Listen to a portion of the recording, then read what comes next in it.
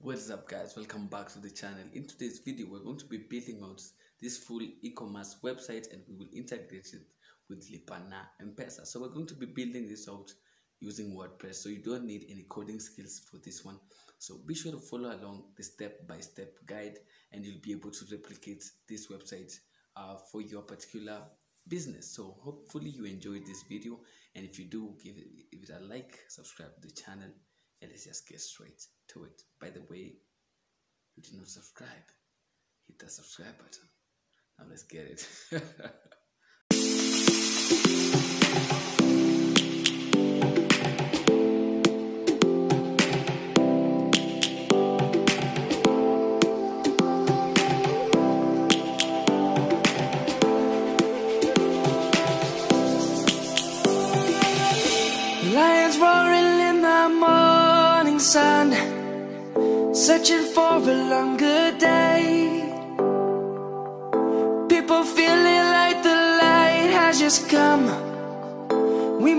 never stop the way.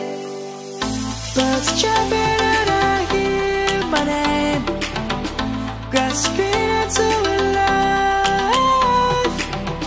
Life is happy, but it's so insane. We must merely make a start. Savannah,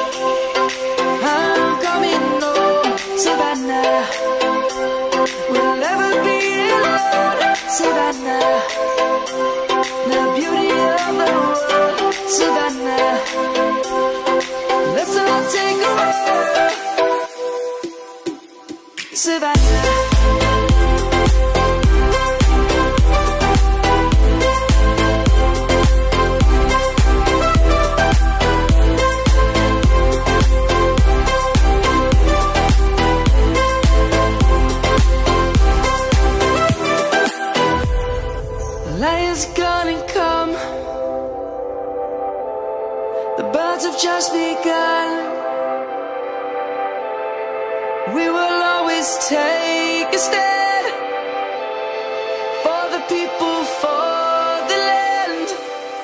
anyway, so let's go ahead and start uh, building this out. So we're going to be building out a full WordPress e-commerce website and we're going to integrate it with M-Pesa. So for me, I'm using Namecheap as my hosting provider. As I've said before on the channel, if you like have many uh, various methods you can use for payments, I recommend Namecheap. But if you don't, you can go ahead and use TrueHost, which allows for Lipa na M-Pesa. So those are the two recommendations that I'm going to give. I'll have links down below so that you can use those ones. So I'm just going to head into my hosting list. So I do have some shared hosting. So this is the one I'm going to use. So I'm going to go into my cPanel. Then once I'm in this cPanel, what I want to do is because this is an add-on, I'm going to use some domain I used I bought a while back for my blog, but I didn't it didn't really get that much traction. So I I just trashed that one. So this is the one. It should be somewhere here. So WordPress Manager by Softaculous. That is the the what you want to click on. This is the one that manages your installations of WordPress within the cPanel. So I have an installation already. So I'm just going to get rid of this one. So I'm going to clear all the files that do exist. So let me just uninstall literally everything that is in here. Scrub it, forget about it. So let me just remove this installation. Okay, I will not regret this. Probably I will. uh, but let's just uh, do this for purposes of the tutorial. So installation was removed successfully. Return to WordPress management.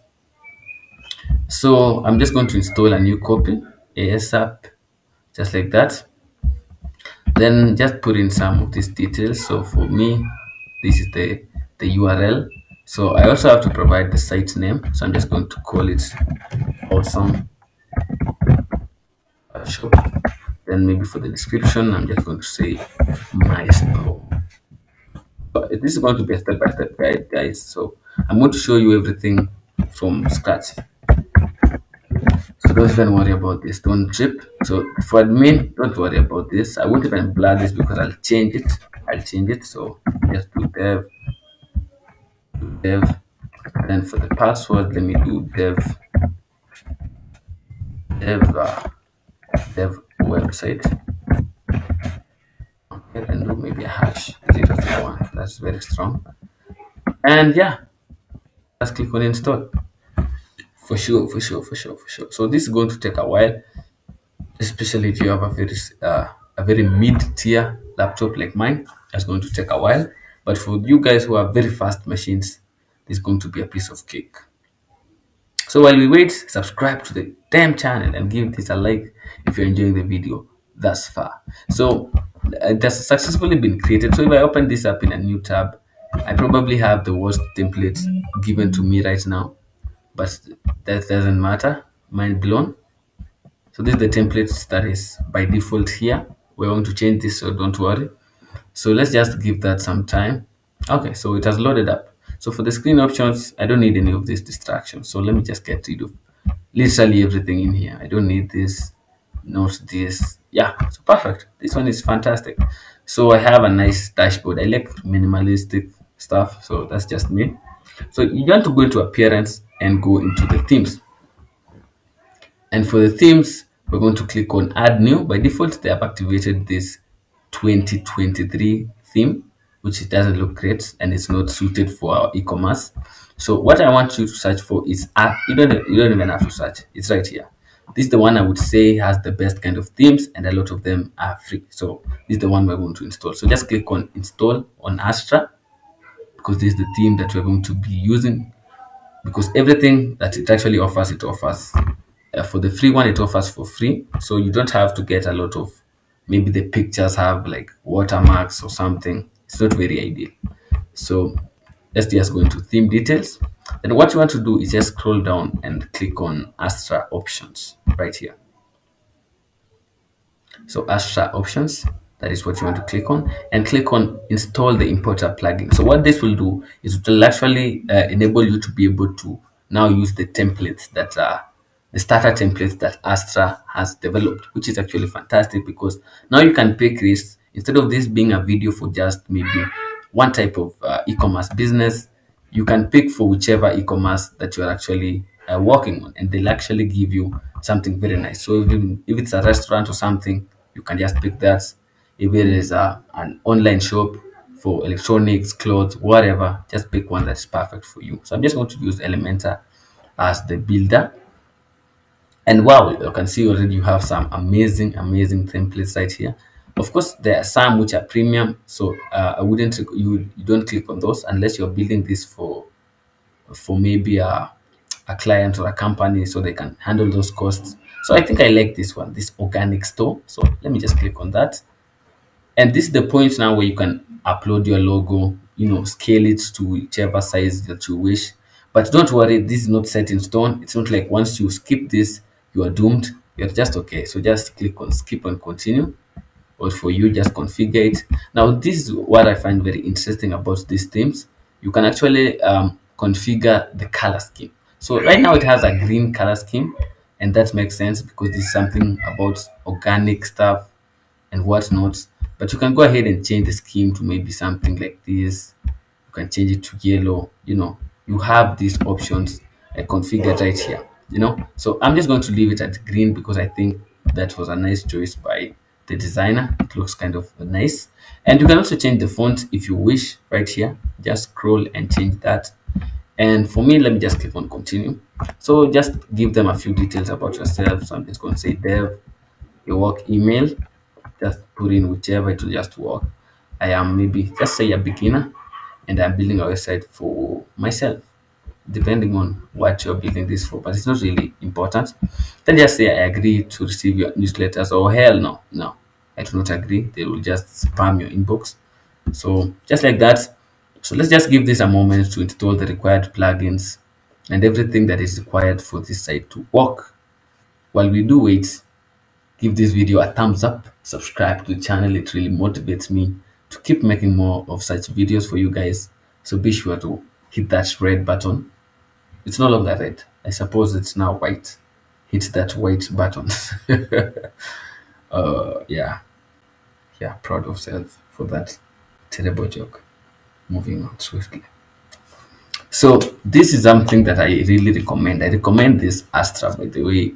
So it's not even a paid promotion or anything. I don't have affiliate links to them. I just recommend them because they are quite a nice service to use. And so I think we're pretty much done and we will be redirected in a few seconds to some video showing you, I don't know, how this was made and how you can make more. You know what, just exit to your dashboard. So what we now have to do is now configure this because we're building this for Kenya. So some things like the currency is a bit screwed up. So just go into your WooCommerce, then go into your settings,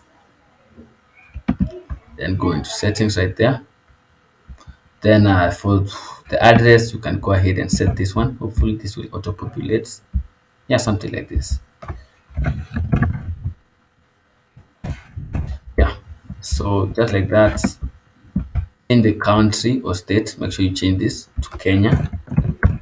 Give you some few options to see uh, Bungoma, whatever. So just scroll this and find your your location. This is just a very simple process.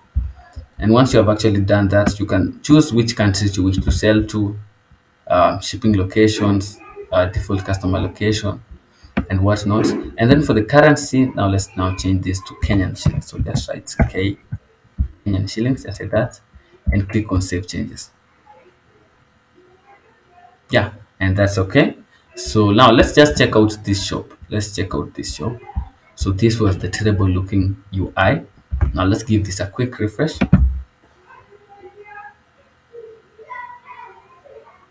So this one looks fantastic. I mean, look at this. Mwah. What is this selling? Veggies. It's selling organic veggies. So as you can see, this is a nice looking website. The currency has changed to Kenyan. And now the ultimate test. The ultimate test. Is this thing responsive actually? Let's go ahead and check this out if this is actually responsive. So inspect this and look at that. It is responsive to the very core. So it looks good both on your desktop and on mobile, which is actually very fantastic because uh, you actually need this because nowadays most users are actually viewing this from their their mobile phones, not their PC. So let's go ahead and maybe see the single page uh, products, how it looks. So because if it looks terrible, then we are, we're not going to use this. And look, it actually looks fantastic. You have the recommended products, uh, the related ones. You also have a place to review. Oh my God. Let's say nice, uh, nice, what is this? Sanitizer. Nice sanitizer. Sanitizer, sanitizer. Nice sanitizer. Mm, Submit that. Okay. Select a rating. So I'm giving this a five star. Submit. Oh wow. Mm, look at that. Beautiful. Beautiful. Fantastic. And you have this zoom effect. I'm pretty sure you can also add several images to this. So what's next now is we had uh, the M-Pesa checkout. So to do that, let me just head back to my WooCommerce uh, dashboard. And now I need to go into plugins and then add new.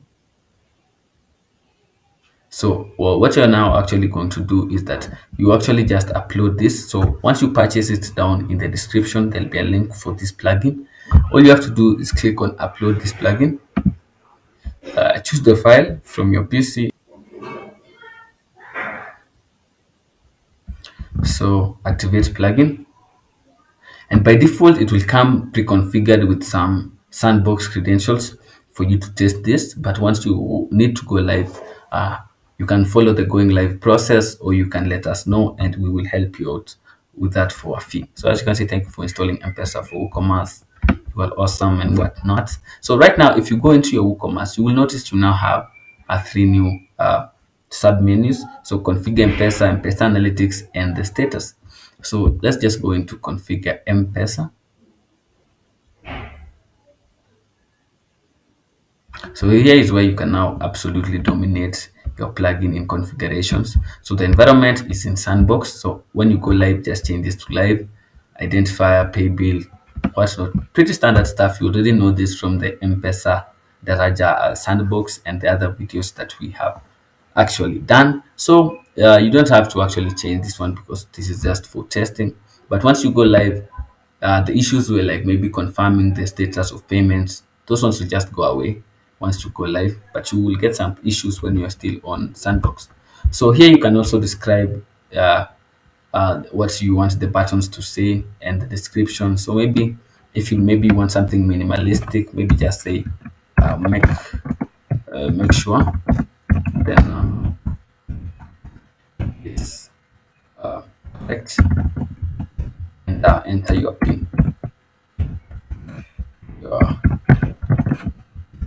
M-Pesa in something. So whichever message you want here for the user to see and shopping with us. Order status on payment. Maybe you want this to be processing or whatnot. Just or you can do that uh, mark order as completed.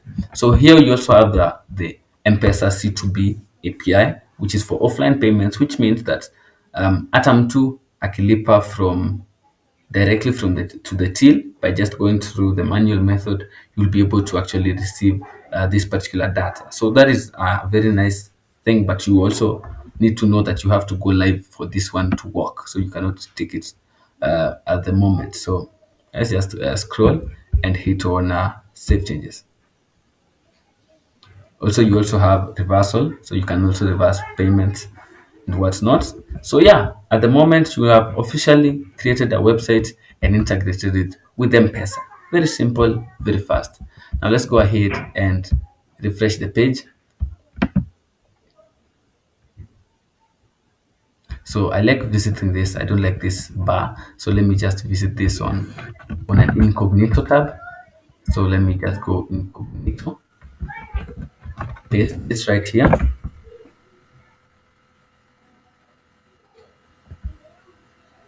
So yeah that's the website right there. So let me just go ahead and purchase something. So this hand sanitizer for example for 19 shillings. Let's go ahead and use this one for the test so the hand sanitizer uh, plus free shipping. So let me just say add to cart. So hand sanitizer has been added to the cart and we can go ahead and view it. So look at that very nice. And click on checkout so wow look at that. So let me hope this will auto populate yeah just like that. And maybe you can add special notes for your order. Maybe you can say i need mine in different packaging or something. But this is where we're actually interested in. So just put in your m-pesa number so zero four zero four zero eight four nine six. Like that and hit on place order. So my phone is right here let us wait for that STK push. So there it is. Do you want to pay 15 shillings to Sandbox? Yes. Let me just enter that pin. Send. So the system actually is uh, very automatic in this type of stuff. So once you have be able to, once you have made your payment, you it will able to be a, updated. It will be pending at the moment, but once it has updated it that there and you have paid, uh, it will be able to be set as a complete. So of course, you also have this prompt to resend this STK push in case you didn't get it the first time. You also have this option to resend, and you can see your order number, the dates, whatnot, everything. Also, in case the STK push didn't work, you also have some instructions here to enable uh, the user to pay uh, manually, which is actually very nice because you have the uh, C2B offline payments. So that means even if they use this particular method, you'll be able to get that data and their order will be set as uh, complete. So yeah, that was it for this quick video. Hope you guys enjoyed. And if you did, be sure to subscribe to the channel. Of course, as always, I will see you guys in the next video. Peace out.